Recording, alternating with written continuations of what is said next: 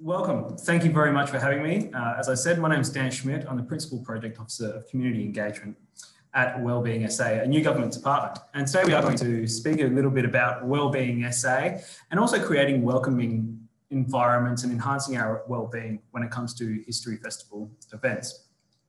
Um, uh, as Karen said, I am a History Festival event organiser myself in my um, spare time outside of my professional role. Um, and some of this may seem um, a little obvious uh, to some of you, but it's certainly information that it's, uh, if, you, if you have organised history festival events before, it may seem a little obvious, but it's certainly some stuff that I feel was really beneficial for me to learn because I've certainly held some events that have um, failed dismally, which we'll get into a bit later uh, in regards to um, uh, history, history festival events, uh, why that was so, and um, what can be done about it and what lessons I've learned. So, just moving on to the next slide here. Uh, once again, um, I do, uh, uh, along with uh, Karen and the His History Trust, I recognise the land that we broadcast from today is the traditional lands of the Kaurna people. Uh, but we also recognise that you may be on um, uh, other lands of traditional owners as well, and we respect their culture, heritage, and. Like I said, my name is Dan Schmidt. I'm from Wellbeing SA. Now, Wellbeing SA um, is a new government department, uh, new government agency that was uh, created earlier this year, uh, based on a system that supports uh, improving physical, mental, and social well-being for all South Australians. Um, it's a significant change from a system that has traditionally focused on people when they become unwell to a system that starts working with people before they come unwell. Because we all know it's, it's based on the, the simple concept that prevention is better than cure and be that physical health or, or um, uh, mental health, it, it, rings quite true, which is why we provide a range of services, um, advice, information, uh, advocacy, and events um, for all South Australians uh, in regards to their emotional and physical well-being as well. Basically, the overall goal is to maintain the well-being of those who are well and lead, you know, so everyone can lead happy and healthy lives. When we define well-being, um, because this is Mental Health Week, I just want to establish the difference between mental health and well-being. Uh, well-being is not just the absence of disease or illness. It's it's it's about all a, a whole range of factors in our life. A person's physical, mental, and emotional health factors. Whereas mental health is more of a state of well-being, uh, person has the skills and resources to you know bounce back when things go wrong, meet their needs, and live in a way that they can strive towards their goals that they find meaningful. Um, which brings me to one of the main points I want to speak about today, which is social connection. Um, sorry, I've lost the chat box uh, somehow, but um, uh, if, if, anyone's trying to, to, chat to me, I'm terribly sorry, I can't see. One moment. Uh, okay, I can see the Q&A box. Um, it's just a question about whether the. I've got the chat box. Thank you so yeah. much. Oh well, oh, well, this is great. People listening from from all over Victor Harbor, uh, Blackwood. Uh, this is absolutely fantastic. So thank you for tuning in. And look, we are, although we are apart. Oh, someone in Barmera. I was down in uh, uh, Barmera not too long ago, um, up at Lake Bonney with the kids. So wonderful place uh, in the world, and I can't wait to get back there. Um, but I want to talk a bit about social connection today. Um, social connection is really important to. Terrible, sorry.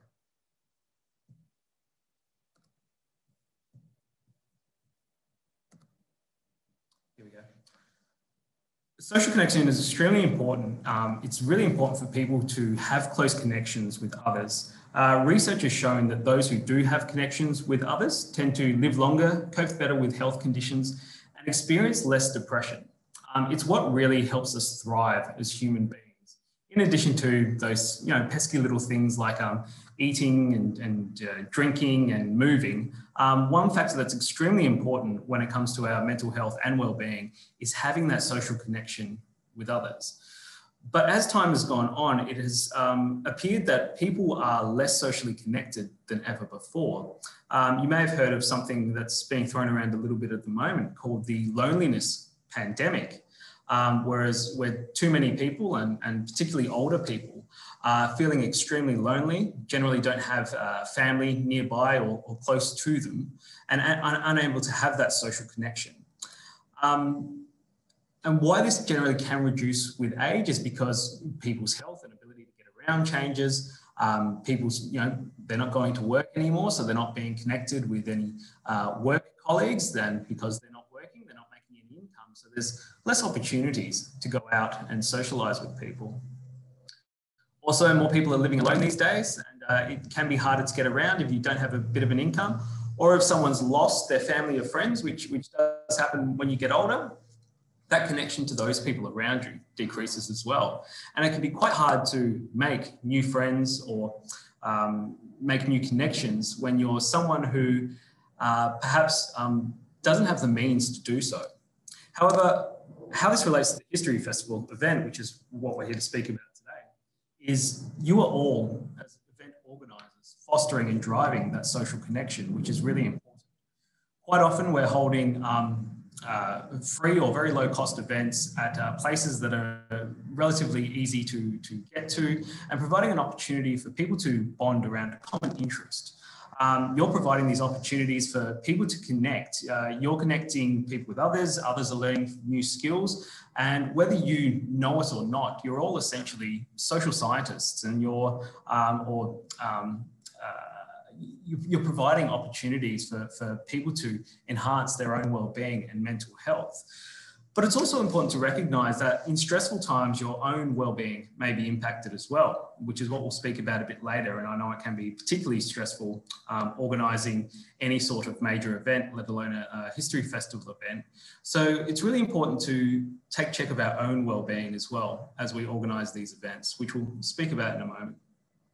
Now, I'm very sorry, I can't see the chat and do my slides at the same time for some reason. So um, I will may have to save the chat to the end. So let's talk about how we can enhance the well-being of our History Festival event. Uh, like I said, some of this may be quite obvious to some of you, some of you it may not be, but we should never kind of assume knowledge, uh, which is one of the points I really want to get across today, particularly when it comes to history. Um, I've been involved in um, uh, creating digital history for three or four years now. Um, and for some reason, uh, because of that, people think I actually know a lot about history when I actually know next to nothing about history. Um, so e even when I go to events, um, uh, people start telling me things that um, you know that, that, they think is the assumed knowledge, which it probably is for a lot of people but for, for a dullard like me, it actually isn't. So it, um, uh, it's really important to just never assume that everyone knows everything or knows what you do, because we only learn um, uh, by listening and sharing experiences. So enhancing the well-being of your History, uh, History Festival event is ensuring that you make uh, connections meaningful. It's extremely important to provide a warm welcome, introduce yourself, um, in, ensure that um, uh, you know you consider you know whether can, people can get to the event. Uh, your event has some sort of appeal, and also engaging with those in the event as much as possible. Uh, like today, we've got the, the chat function going on, which I can't see, uh, but um, it's um, a great way to, even though we're online and separated, we still have that social aspect where people can talk with each other, share where they're from, and learn a new thing altogether. Um, so even if your event is online or you are thinking of holding an online event, involving that social aspect is extremely important. Your event, you know, is really is in reducing social isolation through getting people, giving people an opportunity to get out and learn something new, uh, meet new people, and people of all ages and backgrounds as well. Um, from my experience in the History Festival and a lot of the events I've held and gone to, there actually is a wider range of people than I thought there would be when it comes to these events. Um, obviously, the event is extremely well promoted through um, the History Trust, uh, through the advertiser and online and a whole range of other means as well, um, which, is great. And I think we're also quite fortuitous that we live in a state where we are the festival state after all, where people are willing to get up and get out and experience something new when it comes to festivals. Um, so I think that's why we're starting to see, uh, particularly as time goes on, I've noticed even in the past few years, um, that we're seeing more uh, intergenerational approaches to these history festival events. And we'll speak about perhaps um, you know, options to make your event um, family friendly um, as well. Um, you know, particularly I, am a parent. I, I, have three three young children. Um, quite often, uh, you know, juggling around sport and, and dancing and sleepovers and birthday parties and social clubs and all of that kind of stuff. It can be quite hard for me to find some things to do with my children um, that is, uh, you know, accessible and interesting for us all. Uh, so if you are holding an event, um, consider making it family friendly. It's actually not that hard. Um, you know, you, you can cater, you know, to provide sort of little distractions or puzzles or toys or colouring in uh, in the corner for kids, or involve you know young children in in many ways, or in um, uh, helping them touch, feel, and um, you know really explaining things in a simple way to children. Also, um, if, you're advertising an event, you could you could even say you know. Um, there's, there's space for prams, uh, families welcome, that kind of thing as well. Because those intergenerational approaches and connections is what's really important to our social connectedness and our mental health and well-being um, as a society overall. Um, like I said, oh, this was the slide I was meant to go to, sorry. Yeah, advertise if you are welcoming families, um, provide pram access or um, activities that, that, are, that, are, suitable for kids. Um, because we as parents truly do appreciate that kind of stuff. Um, and it really gives us an opportunity to get out, do something we enjoy and the kids enjoy at the same time. Uh, but it's also important, like I said, to look after your own well-being because organising an event can be particularly challenging on your own. Um, it's recognise it's okay to try and fail um, because that's how we do improve and learn. I've been trying and improving and also failing a lot for the last kind of three or four years in, in organising events, and um, that's how I've learned from it. I, I certainly think if I if I gave up after the, the first event I held, I, I wouldn't be as um, um, you know thorough or as knowledgeable in enhancing the well-being and providing welcoming spaces and um, you know putting on uh, events as I am today, um, which is a skill I really value and a skill that has had many you know transferable qualities, um, not just in my um, uh, uh, you know personal life, but in my professional life as well. I've actually learned a great deal and being able to draw on those skills from organising history festival events. Um, it's really important to watch and attend other similar events in the lead up to yours or think about events you've attended in the past and say, hmm, what, what did I like about that event? What, what did they do to make me feel welcome? Or, or what didn't they do to make me feel welcome? And how could I uh, improve on that or uh, replicate that or even connect with those people who are holding that event and ask them for some tips, tricks, or, or hints in organising my event. Um, and it's okay to ask for help. Like people are here to help you. Um, the people at the History Trust have always been uh, fantastic um, to myself when it comes to organising events. And you'd be surprised at how willing other history festival event organisers are to help out each other as well. It's an absolutely fantastic community. And the only way we can grow that community is by you know, really networking, connecting, and supporting each other. Because really, that's what makes it great. It's about it's about providing that connection between events uh, to ensure that we're all doing the best that we can, and we all have the the best assistance we can. But what's one really important thing I want to talk about today is that this year has been certainly unlike any other. Um, I don't need to go into too much detail, but there's this this COVID thing going around. I don't know if you guys have heard about it, but um, it's, it's, it's done a whole bunch of mess when it comes to uh, events and whatnot and organising. Uh, we are quite lucky in South Australia, so it seems that we can, um, uh, you know, still gather in places, but um, uh, uh, you know, COVID-safe plans um, may be required for some larger events as well, which is um, all the information is available at sa.gov.au. But recognise this year has been difficult for all of us. Um, I don't think there's been anyone that hasn't been um, impacted uh, both mental, mentally and physically um, or um, emotionally by, by, what COVID has had. Um, and in addition to this, earlier in the year, which um, uh, almost seems forgotten about now for, for many other South Australians, is the devastating bushfires we had uh, on Kangaroo Island, in the Adelaide Hills, and in Yorketown as well. So this year, people are a bit more on edge. People are a bit more um, quick to stress uh, and people have a what's called a window of tolerance, which may be a lot smaller than it usually is. So just recognize that not only in people who you may be providing an event for or a space for or providing connections for, but also in yourself. as well. Um, recognizing that taking too much when your window of tolerance may be um, a bit, bit smaller than it used to be um, can actually be detrimental for your well-being. But a great way of increasing that window is asking others for help if you do need it. Um, and there are people here to support you through that. Um, look, there's a range of ways to promote um, steps to stay connected. And these are things like um, volunteering, taking a class, being active, and, and things like uh, and, and, and these are all part of a lot of History Festival events uh, that are held.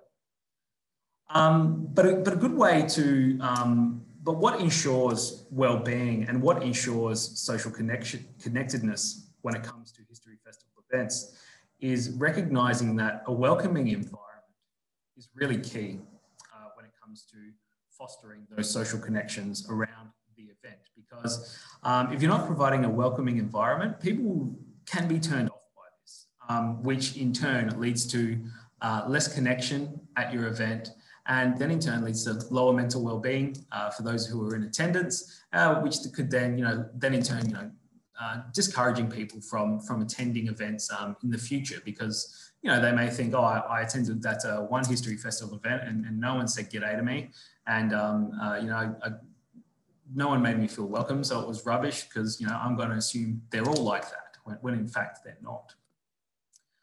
Uh, so in terms of creating welcoming environments, um, pick a really suitable venue with accessibility in mind. As there are many uh, History Festival event attendees that are in the older demographic, uh, ensuring that um, uh, there's available seating, um, there's available space, and I, I, I, did know Karen is going is they are going to hold another session on accessibility, so I won't go too much into it, but letting people know uh, where the toilets are or if wheelchair access is available as well. Presenting the venue nicely is also a really good key. Um, no one, and, and, this is always an if possible. Um, if, if you are, you know, holding an event uh, and it has to be in the library you work in or in the um, uh, local town hall, which hasn't been updated since the uh, 1910s, then there's not much you can do about that. But you can always spruce these little things up with uh, signage um, uh, and, and what's most importantly, just a, a warm and friendly smile. Um, if you are holding an event in person, ensuring compliance with COVID-19 restrictions for 2021, and those are changing all the time and seem to be uh, relaxing quite a bit at the moment. So um, keep up to date with that at sa.gov.au. Um, and if your event is online, like ours was, ours is currently, um, be, be sure to run, run a test. We, we actually ran a test um, last week, uh, just, just a quick run through to ensure everything was working. But um, you know, you, you can run as many tests as you want, but on the day when you want to get the, the chat function up to see what everyone's saying, it's just not there. So prepare for things being able to go wrong as well.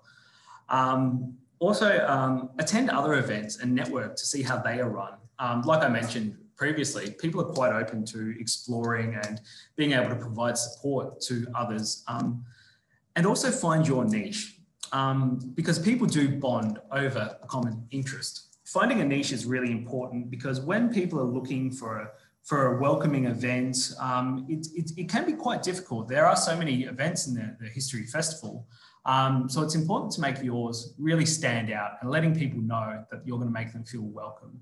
Um, letting people know in your advertisement that, um, that all ages and backgrounds are welcome. Um, or um, also just letting people know that how your event is different.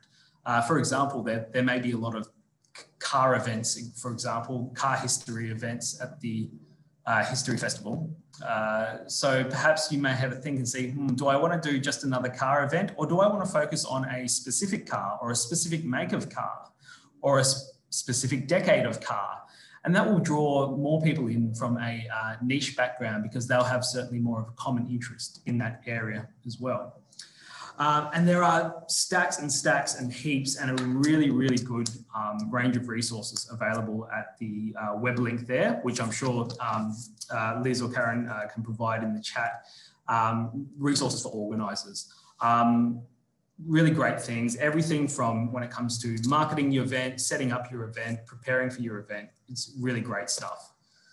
Um, so, like I said, I've been doing events for a little time now, um, and um, yeah, I, I, have failed because I failed to prepare correctly when it came to some of my history events.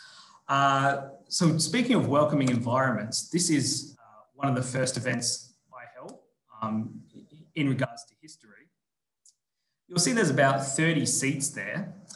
Um, we filled about eight of those, and three of those eight were people we found uh, sitting at the bar just beforehand. We didn't market the event well.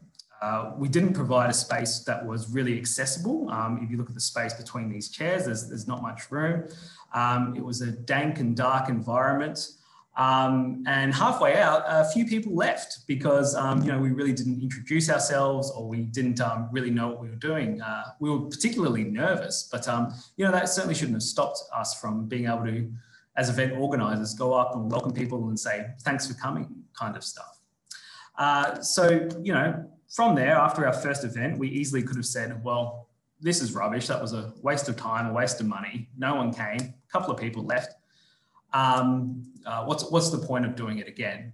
But instead, we thought, no, we we kind of like doing this whole history bit. So let's um let's see what we can learn from that. And we learned that um we like okay, our our audience may not be as big as we want it to be, but we have to promote ourselves better. Uh, we have to welcome people when we get there, and we have to let people know that they feel like they're part of a community when they're attending one of our events. So moving on to our next event, we provided, this is the next event we held. Uh, we held it in a smaller space, uh, much more intimate setting.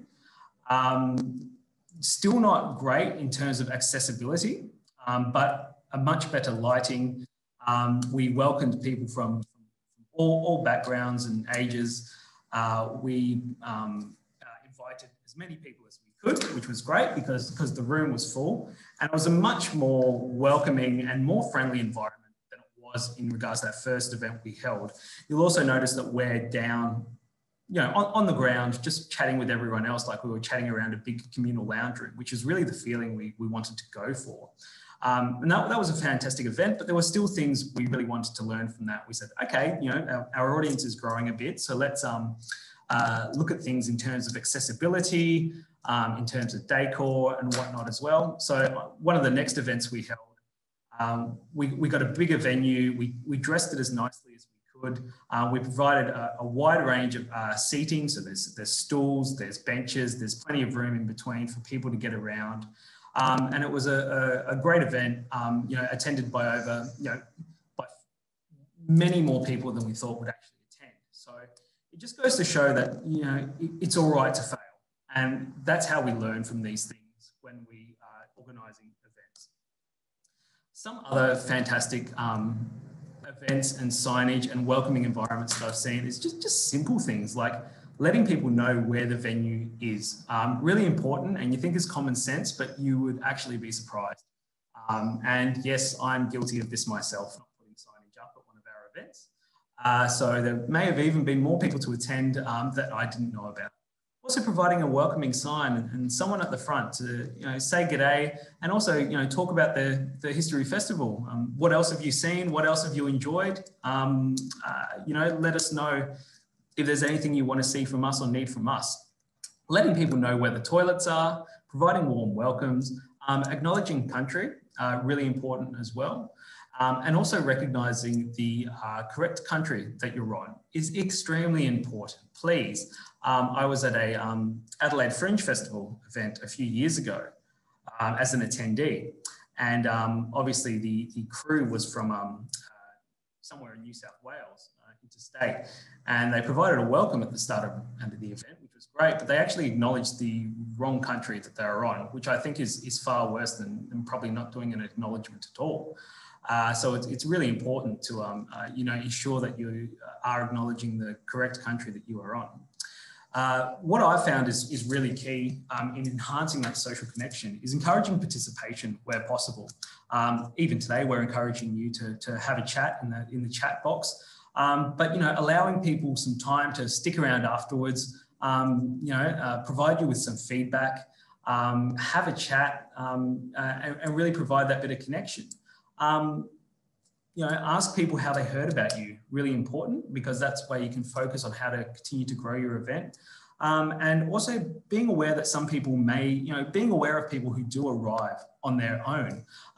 You know, people who arrive on their own may not have uh, many social connections. Um, so being able to provide that social connection, a warm smile, a warm welcome, say, hey, I'm Dan, I'm one of the organisers today. If you need anything, let me know um, and stick around afterwards because, you know, I'd love to have a chat around how you thought it went or what you'd like to see done better next time.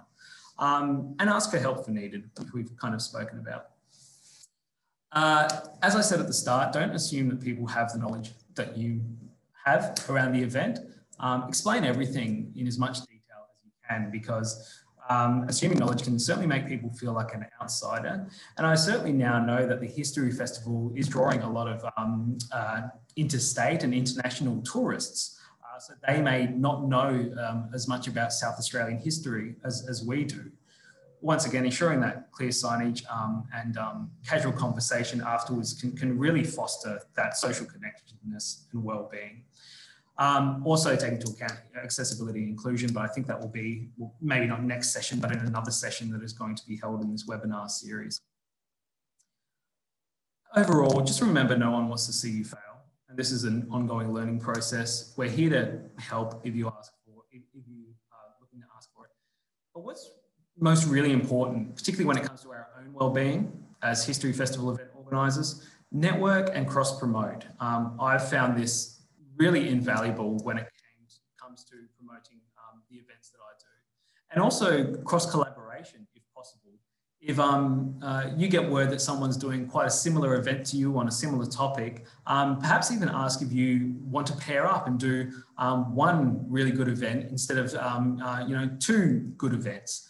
Um, uh, you know, um, my team through the events I run, um, where, where current, we, we collaborate with um, local councils and libraries um, to explore the histories of those areas uh, where we can. And we find the support that we get from them um, and, and the promotion we can get through them is, is much more than we could do ourselves. So pair up, have fun, network, go out and fail and go out and learn and you know, because that's how we all improve and can make the event as a whole and us as a whole grow. Um, as it is Mental Health Week, and we are um, uh, particularly in, in, a time where uh, a lot of us um, are struggling with um, uh, kind of emotional distress and um, uncertainty, um, I, I, just wanted to speak about briefly helping others. And this could be if you recognize that someone attending your event is uh, not, not feeling the greatest or discloses to you they've been having a rough time, or um, if you're partnering uh, with someone to organise an event and, and recognise that they're not doing so well. I just wanted to let everyone know that you really don't need to be an expert to help someone um, if they're struggling. Um, you can offer support just by letting them know that you care and you're there for them. Um, just ask them what's going on and try just listening to them without judgment. Um, and recognize that you don't have to actually fix anything for that person because sometimes all it takes is just a friendly ear and um, you know someone to spend the time and say hey you know i i may not be able to help you but if there's anything i can do let me know. Um, and and perhaps you know um, i may not be able to fix your problems but i'm here to listen to you and i'm here to help you work through them um, because that's really really important. I think a lot has been done in terms of mental health promotion in the past five or ten years or so um, but we're still seeing a lot of things saying, hey, if you, um, uh, you know, are feeling stressed, go see your doctor, um, which is completely fine. But quite often people don't want to go see their doctor just when they're a bit mentally distressed. Um, people often, um, uh, you know, recover better through those social connectedness um, and also just relying on those around them. But, you know, if you are really worried about someone, obviously a, a medical professional is, is a, a way, way to go. But um, if we can just encourage people to open up to those around them and also you know, equip people with you know, having those skills to just listen and sit and um, uh, empathize with people who come to them with issues, I think our society is going to be much better as a whole. There is a range of help available to people. Um, uh, openyourworld.sa.gov.au is a new initiative launched by Wellbeing SA. Um, you can read more about there's also the COVID 19 mental health support line uh, on 1 800 632 753, uh, Lifeline 131114, and Beyond Blue. And also a great service there called the Lived Experience Telephone Support Service. Now, this isn't a 24 hour service. Um, this is um, run kind of, I think it's 9 a.m. to 7 p.m., but um, their hours are changing quite a bit as they, they start to grow, which, which is great. These are people who um, recognize that they have their own lived experience in terms of mental illness and chat to others just via a support line. And it is more of that lending an ear and listening and um, you know providing a perspective of where they've come from and what they've also experienced because many of us um, including myself um, have experienced uh, mental illness uh, mental distress um, and mental health problems uh, throughout our lifetime um, so really connecting with others um, and letting them know that we're here for them and we we may not know exactly what's going on for them but we, we, we will try to have an understanding um, is really important. And that's a local service. That's a lived experience telephone support service. However, if it is an emergency, um, triple O or the mental health triage on 131465. Thank you so much. Um, I hope I've covered what you're after. Um, let me know in the chat if I haven't. I'm going to try and get the chat box up again now. Uh, those are my contact details. But um, thank you all for your time. Thank you so much, Dan. That's fantastic. Um, oh, I dropping out for a bit there? Sorry. Yes, I'm sorry, everybody. Um, we've had a few comments on the on Dan's sound, um, but uh, I could still hear him most of the time. So hopefully you can all you could all too, and we'll try and sort out the sound before our next session next week. For those of you who, are coming to, along to that one. Um, we did have one question that Liz has already answered in the Q&A box. Um, yes, we will make Dan's presentation available to everybody after um, today's session and it's also being recorded. So if you want to share it with anybody else um, or watch it again, you'll be able to do that. So we'll share that around with everyone who's here.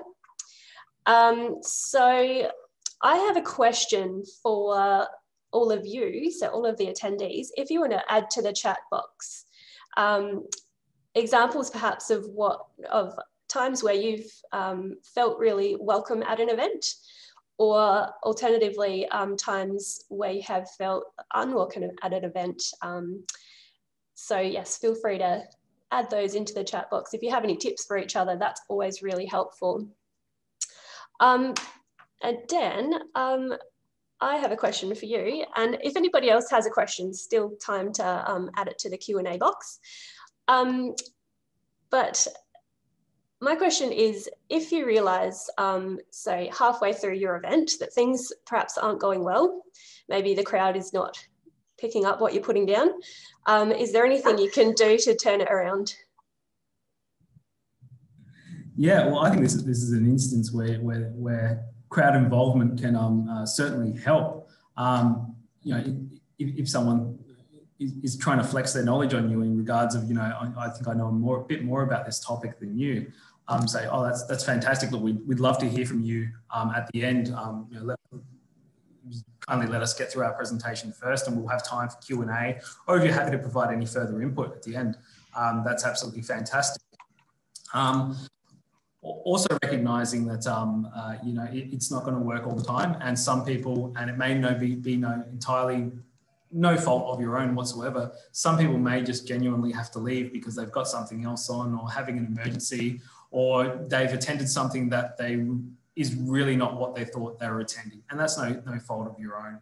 Um, so yeah in, ensuring that um, you know but people are mu- much less likely to um, uh, you know um, try and I won't say sabotage, but interrupt your event. Um, you know, if you've pro provided them with that warm welcome and um, you know a quick introduction at the start as well. So uh, hopefully those are some tips. But recognize some people are just absolute numpties, and it will happen. So um, just try and go with the flow where you can, and it's all a learning experience. Yeah, that's a really good point, and it's so easy to take it personally when people sort of hop yeah, out halfway through, but it's not always because they're not enjoying it. Um, Anna has um, added to the chat that um, her organisation co-hosted an online tour of the National Portrait Gallery that was super amazing and welcoming. Um, it was super interactive as well. and throughout the whole session, we were asked questions and the presenter built on the answers and it felt really inclusive. That's fantastic. That's yeah. Yeah, that whole involvement is, is really key. Mm, it's a good example of an, a digital event working well by the sounds of it. Um, another question for you, Dan. Yes. Um, as you mentioned earlier, we know quite a few people attend events alone. Um, and people enjoy attending events alone. Um, but what would you suggest? Do you have any um, additional tips for people to make them feel comfortable approaching the venue? Um, and how can you let people know that they um, they're welcome and they'll feel comfortable when they come in? Yeah, um, good point. Some people do want to attend events alone because some people, you know, this may be the only opportunity they have a chance to get out of the house without the kids or, um, you know, without the, the husband or without the wife. And it's an opportunity for them just to take something in. Um, but being up front and center when you're welcoming people and saying, hey, my name's Dan, or don't say Dan, say your name. But um, say, hey, my name's Dan. I'm, you know, organising uh, this event if you do want anything, let us know. If not, feel free to take a seat and um, yeah, we'll stick around afterwards if you, if you, feel so as well. So there's really not too much more you can do than that.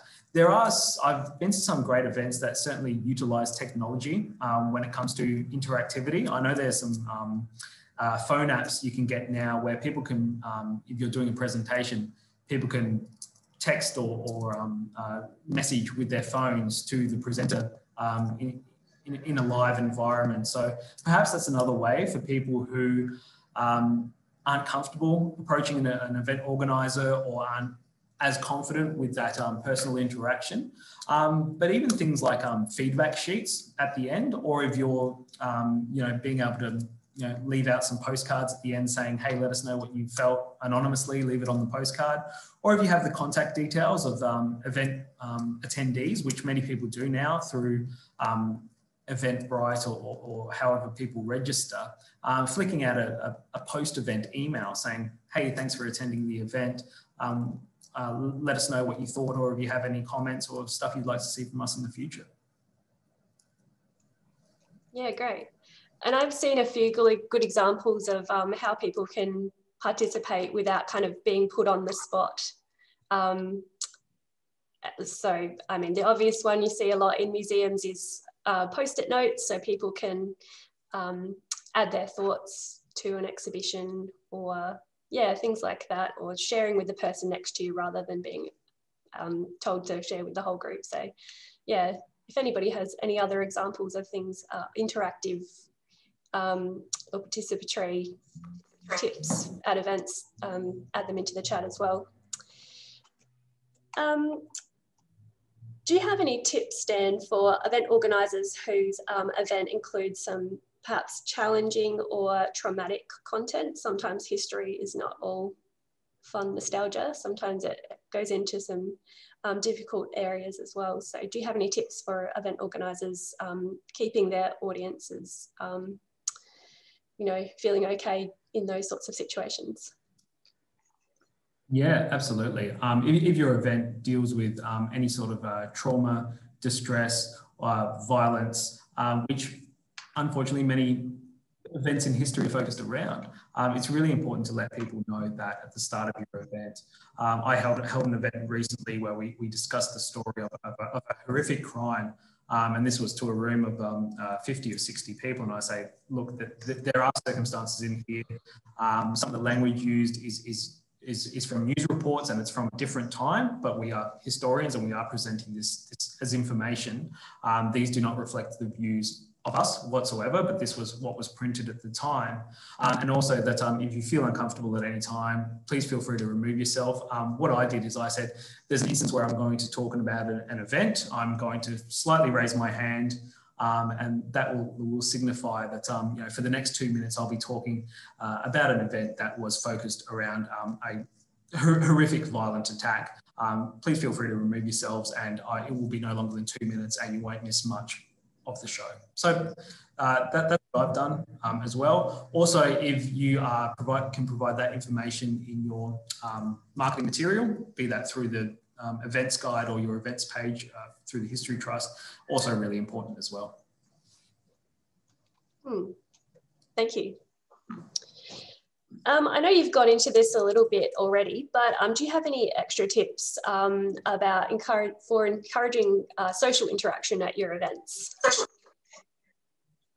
Oh, activities are always really good. Um, uh, if you have um, an exhibition or something where people can just do something with their hands or, or, work together to, to solve a mystery or a puzzle or get involved in that one-on-one aspect with each other. That's really important. Um, I think um, you actually sent me through some pictures, Karen, which I was going to use, but I, I didn't actually use them. And these are people, you know, actually um, assisting with, um, you know, holding things at the event, making things at the event, which, which is really important as well. Um, but aside from that, I'd love to hear in the chat um, if, if, anyone has any tips around, you know, how, how to better foster that social connection and inclusivity at events as well. A cup of tea and a scone goes a long way, I think. or maybe some nibbles and drinks if it's after hours and you've got a liquor license. um, yeah, great. Um, can you talk a little bit more about um, the window of tolerance concept you mentioned earlier. I'm interested in that. I hadn't heard about it before um, and how it might help event organisers understand people who are coming through their door. Yeah, absolutely. So the window of tolerance is a concept that um, uh, we can all tolerate a certain uh, amount of stress in our life. Um, but as our stresses uh, grow, be that, um, you know, uh, restrictions or um, sorry, I'm actually just trying to find a, decent, decent example uh, so which I can share my screen. Um, uh, you, sorry, there's nothing I can really get up. Uh, but when, um, uh, you know, when um, uh, people experience trauma or people um, experience um, adverse life effects, this can really shrink their window of tolerance and their amount of what they may be able to tolerate may be less or it may be more than what you're able to tolerate. Um, so letting people know that um, uh, you know you're there to support them. They're happy to leave. Happy for people to leave the event at any time. Um, and um, if, if, you search window of tolerance on Google, it comes up with a with a wide range of concepts and images which can um, assist with that. I'm sorry I can't get it up at the moment. Um, but just letting everyone know that our our, our levels of tolerance, you know, are, are, a little smaller this year just because of all that's going on in everyone's lives and trying to adjust to a, a, a new, new normality. Um, uh, we, we, can, we can only tolerate so much. Um, so when there's negative impacts, that window gets smaller and smaller. Great, thank you. It's interesting. Um, and finally, unless anybody else has um, any last burning questions to ask, I'll just keep going. Um, can you tell us um, more about what your team's up to at the moment, given it's uh, Mental Health Week? What kinds of things are you doing out in the community? what, what are we up to? Well, thank you, Liz. Um, Liz has provided a uh, window of tolerance graphic in the chat, so that's um, really handy. Uh, what our teams um, during Mental Health Week, look, our role is the prevention and promotion of um, well-being and mental health and reducing stigma. So we're providing a wide range of events um, to go along with that. Uh, tonight, for example, I'm providing, I'm hosting, I'm not hosting, I'm speaking, I'm organising and speaking an event for journalists on how to effectively and safely report on things around mental distress, um, suicide, um, uh, you know, traumatic events, and also, you know, self-care for journalists in the industry that is um, really quite turbulent at the moment. They're, working with fewer resources than ever before um, and expected to put output a lot more work than ever before as well with the 24-7 news cycle. Um, in addition to this, we're currently working very closely with supporting our bushfire affected communities. Uh, we have workers in Adelaide Hills, Kangaroo Island and Yorketown, and we're actually partnering um, different part of my team is actually partnering with the History Trust tonight to provide some workshops on Kangaroo Island around the uh, Stitch and Resist program, uh, which is really important and provides that social connection once again, because that's what we're hearing from a lot of these bushfire affected communities. It's, um, yeah, we know, you know, we've still got fences to build and, um, uh, you know, plants to replant and things like that. But what, what we're really missing is that that social connection because that, that's what keeps a lot of people going through sporting clubs, through community groups and through activities is, is what's really important. So we're providing as many opportunities as we can during Mental Health Week for people to participate. Yeah, great. Thank you. Uh, we have a question from Lainey. Um, do you have any tips for encouraging an older demographic um, like that who often attend History Festival um, to participate in online events? Yeah, absolutely. Um, look, it's it's it's it's not easy learning new things, and even when you are quite, you know, savvy technology like myself, things tend to go wrong sometimes. Um, but there are a wide range of resources um, that are uh, hosted by the History Trust in terms of incorporating technology into your event. Uh, is there actually, Karen? I'm pretty sure there is. We're, we have a couple, I think, up there, um, but it's a good segue into what I was going to talk about next. Is next week's um, webinar session on Wednesday is about um, holding digital events. Um, so we'll cover that a little bit.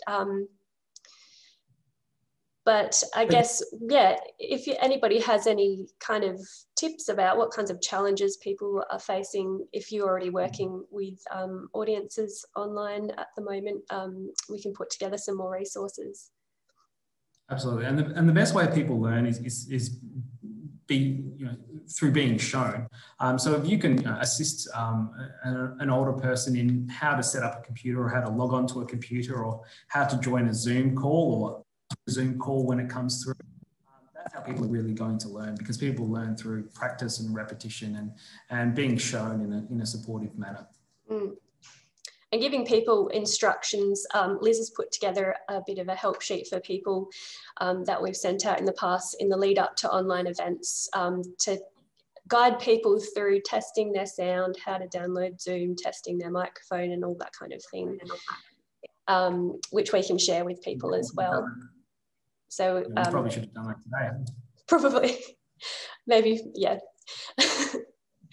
um, but yes, next week we've got a, a webinar on um, hosting a successful online event. So we'll be covering um, different types of talks, so lectures, interviews, conversations, whichever kind of talk you're interested in holding, um, and also online exhibitions. Um, so that so Christina Peak from um, our sister festival, the Sala Festival, is um, going to be presenting along with our very own Britt Burton from the History Festival team. Um, the following week after that, um, we're still uh, just confirming details with our speakers, so we'll announce that one soon. Um, as I said, on Wednesday, the 4th of November, um, we are lucky enough to be joined by Jody from Access to Arts um, and she'll be talking about creating accessible and inclusive events. Um, and for those of you who had booked in for last week's session, unfortunately we had to postpone that one um, due to our presenter, she wasn't well, um, and we're just still finalising a date, so we'll send that those details out when they're confirmed as well.